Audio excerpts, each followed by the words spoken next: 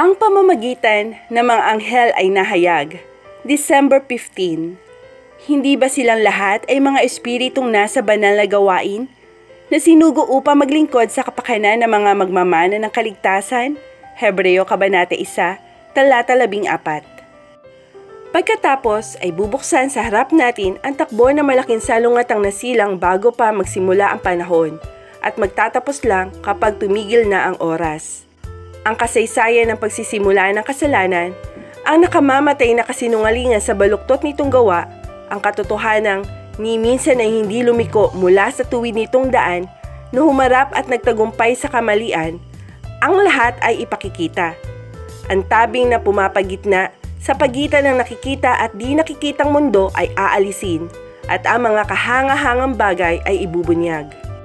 Hindi natin maiintindihan kung ano ang ating pagkakautang sa pangangalaga at pamamagitan ng kanyang mga anghel. Malibang makita na natin ang mga pag-iingat ng Diyos sa liwanag ng walang hanggan. Ang mga makalangit na nilalang ay naging aktibong bahagi sa buhay ng mga tao. Sila'y nagpakitang may kasuotan nagliliwanag gaya ng kidlat Sila'y dumating bilang mga taong may kasuutan ng manlalakbay. Tinanggap nila ang kagandahang loob ng mga tahanan. Nagsilbi sila mga gabay sa mga ginabing malalakbay. Hinadlangan nila ang mga mapaminsalang layunin at inilihis ang atake ng maninira. Hindi man nalalaman ng mga pinuno ng mundong ito, ngunit madalas na sa kanilang konseho, mga anghel ang naging tagapagsalita.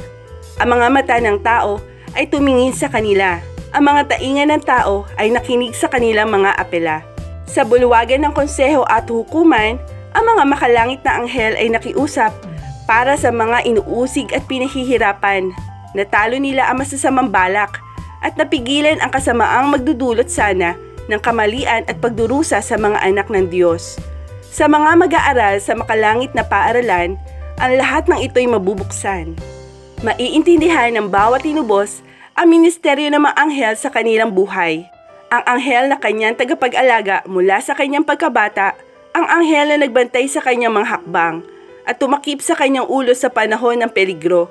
Ang anghel na kasama niya sa libis ng lihim ng kamatayan, na minarkahan ang kanyang huling hantungan. Ang unang bumabati sa kanya sa umaga ng muling pagkabuhay. Ano na lamang kung makakausap siya at malaman ang kasaysayan ng banal na pamamagitan sa buhay ng bawat individual at ang pagtulong ng langit sa bawat gawain ng sangkatauhan. Ang lahat ng pagkalito sa bawat karanasan sa buhay ay magiging malinaw, kung saan sa atin ay mga kalituhan at kabiguan, mga nasirang layunin at nahintong mga plano lamang, mahahayag ang isang dakila, nananaig at nagtatagumpay na layunin, isang banal na pagkakatugma